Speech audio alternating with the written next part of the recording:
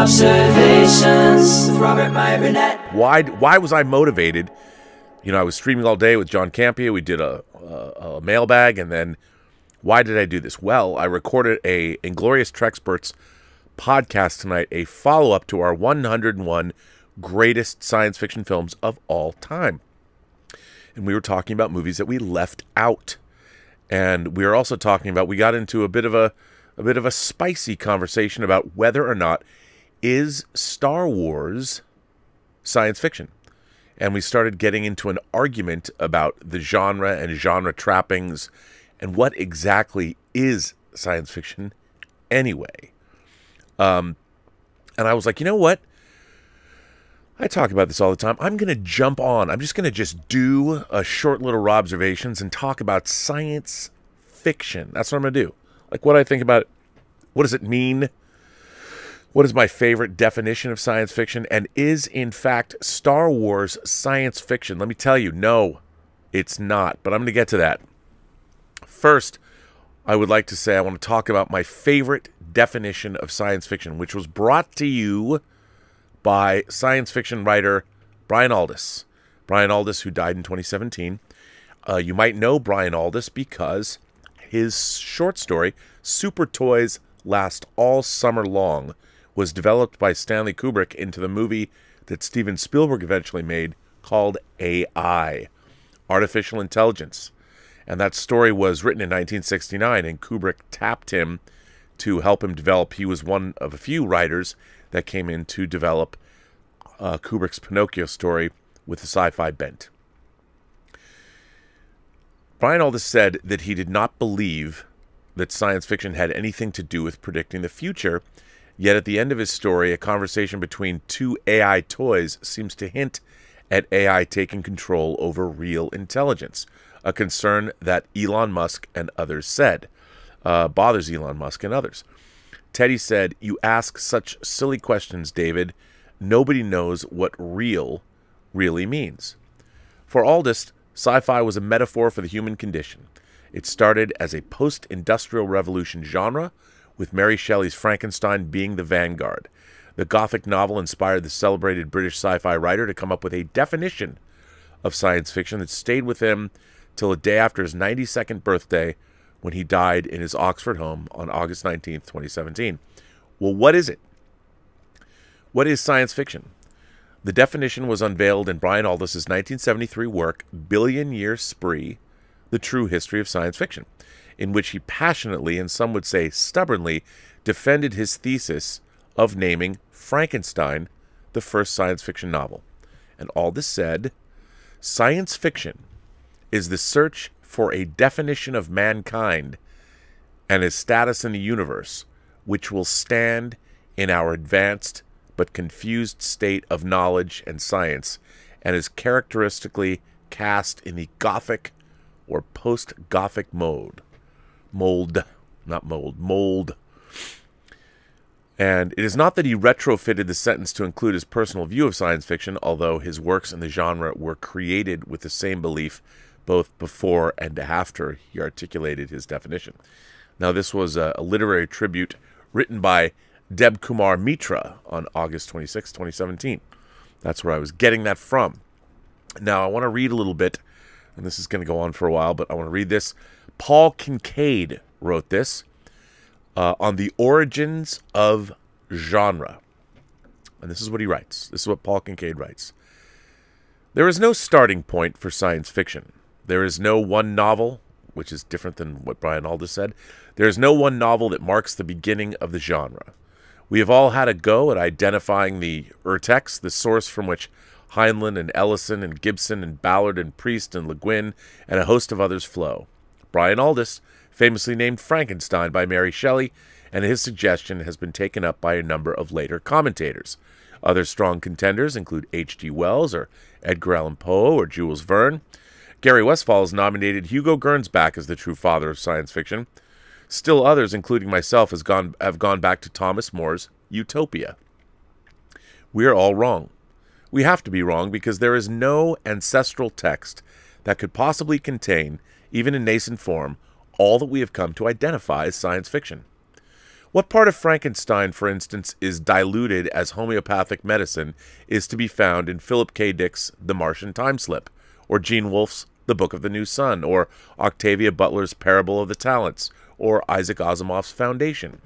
What, come to that, could possibly link these disparate texts other than the fact that we have come to apply the name science fiction to all of them?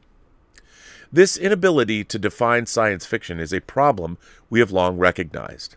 In his 1986 work, Critical Terms for Science Fiction, a glossary and guide to scholarship, Gary K. Wolfe included 33 different definitions of science fiction, many of which overlap to some degree or other, but all of which included contradictions. The critical test for any definition is that it includes everything we believe should be included within the term, and it excludes everything we believe should be omitted. Strictly applied, every single one of those definitions would admit to the genre works that we would prefer to exclude, or would omit works we feel belong in the genre.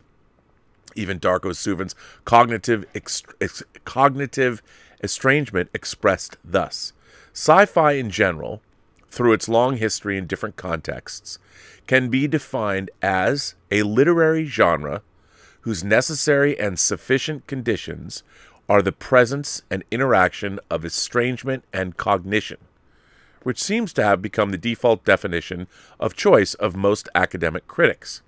It's a prescriptive def- definition that works fine as long as we're comfortable with what it prescribes, but can lead to extraordinary convolutions as we try and show that certain favored texts really do conform to the idea of, cognitive estrangement, and even more extraordinary convolutions to reveal that familiar non sci fi texts don't.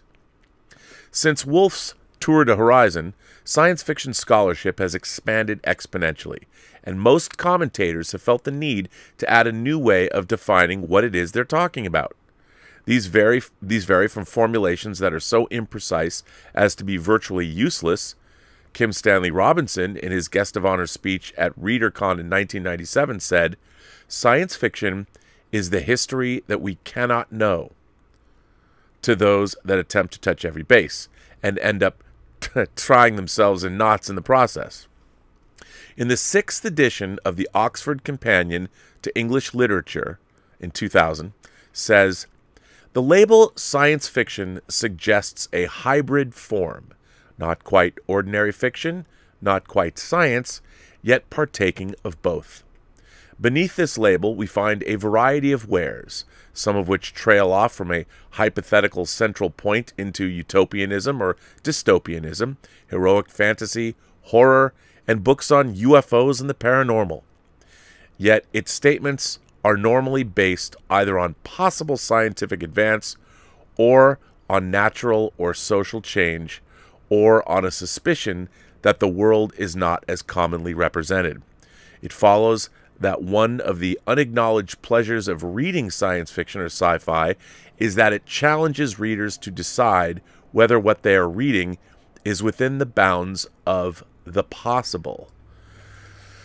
I mean, I know this is a bit heady, uh, but I think what's really interesting is when we were talking about uh, what makes a science fiction movie, uh, and we decided that Star Wars was not science fiction, we all got a little spicy, a little heated, and uh, it was two on two, and it's um, kind of um, uh, it was kind of interesting. I mean, it was what we believed and what we didn't believe, and I I really like uh, Arthur C. Clarke, of course, the man who defined science fiction through his work with Stanley Kubrick in 2001.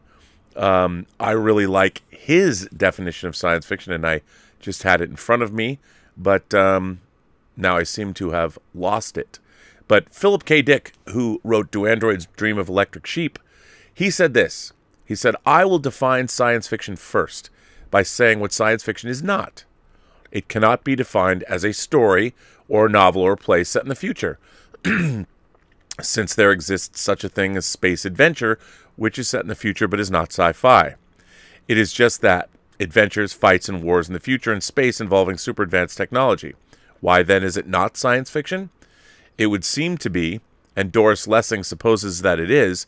However, space adventure lacks the distinct new idea that is the essential ingredient of science fiction. Also, there can be science fiction set in the present, the alternate world story or novel. So, if we separate sci fi from the future and also from ultra advanced technology, what then do we have that can be called science fiction? We have a fictitious world. That's the first step. It is a society that does not, in fact, exist, but is predicated on our known society. That is, our known society acts as a jumping off point for it. The society advances out of our own in some way, perhaps orthogonally, as with the alternate world story or novel. It is our world dislocated by some kind of mental effort on the part of the author, our world transformed into which it is not yet. I thought that was great. Uh, Kim Stanley Robinson again says in every sci fi narrative, there is an explicit or implicit fictional history that connects the period depicted in our present moment to some moment in our past. Isaac Asimov, who wrote Foundation, said hard science fiction are stories that feature authentic scientific knowledge and depend upon it for plot development and plot resolution. And perhaps one of my favorites, which is Arthur C. Clarke, who said, Science fiction is something that could happen, but you usually wouldn't want it to. Fantasy is something that couldn't happen, though you only often wish that it could. I was like that. I thought that was a good definition of science fiction. Um, an interesting. Now back to this article that I was reading by Mr. Paul Kincaid, um, the origins of the genre. Um, in brief, the more comprehensively a definition seeks to encompass science fiction, the more unsatisfactory it seems to those of us who know the genre. To which one response is that we simply ignore the question altogether. The Clute and Nicholls Encyclopedia of Science Fiction from 1993 contains reference to just about every form of science fiction. But though there is an entry on definitions of science fiction, it doesn't actually include a definition of science fiction. The article, which covers much of the same ground as the entry in Gary Wolfe's book, is a conspectus of the different and often incompatible definitions that have been proposed for the genre. But it does not arrive at a single comprehensive overview of what science fiction is. Either there is no such single comprehensive definition, or as when the Oxford Companion to English Literature concludes that science fiction challenges the readers to decide, we finally admit that science fiction is not defined by something intrinsic to the genre, but rather it is in the eye of the beholder. In other words, many of us end up echoing Damon Knight. Science fiction is what we point to when we say it though it is worth remembering what Damon Knight actually wrote in In Search of Wonder in 1956 was the term science fiction is a misnomer. It will do us no particular harm if we remember that, like the Saturday Evening Post, it means what we point to when we say it. Uh, is that true? I don't know. Um, one brutalist variant is my friend Norman Spinrad. He's not really my friend. I've only spoken to him, I think, once. But uh, he wrote The Doomsday Machine, and he also wrote a great book called Bug Jack Barron that I like. Science fiction is anything published as science fiction, which excludes Frankenstein and most of the works of H.G. Wells and practically every contemporary science fiction novel, at least in Britain, where publishers have mostly abandoned, abandoned putting the descriptor science fiction on their books. so I bring you back to this Brian Aldiss's famous definition science fiction, and my favorite, is the search for a definition of man and his state in the universe, which will stand in our advanced but confused state of knowledge. That's my favorite definition of science fiction.